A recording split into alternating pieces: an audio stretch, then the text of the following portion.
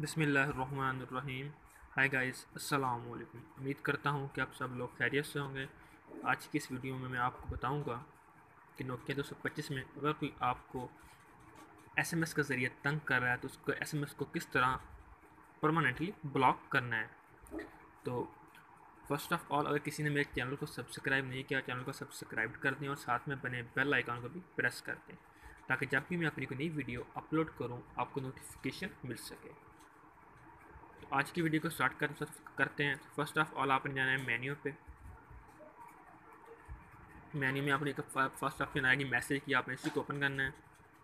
इसमें आपने अपने जो भी आपको नंबर आपको तंग कर रहा है, उसके एसएमएस को ओपन करना है। जैसे आप उसको ओपन करेंगे तो आपने जाना है ऑप्शंस पे।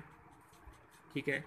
तो आपको नंबर तीन नंबर पे, चार नंबर पे नज़र आएगी ऐड टू स्क्रीन लिस्ट तो आपने ऐड इस पर प्रेस करना, जैसे आप इस पर प्रेस करेंगे, ये देख सकते हैं add number to screen list okay करेंगे नंबर ऑलरेडी ऑन लिस्ट मैंने इस नंबर को पहले ही ब्लॉक किया हुआ है तो अगर आपने ब्लॉक ना किया होगा तो आप इसको अच्छी तरह ब्लॉक कर सकते हैं।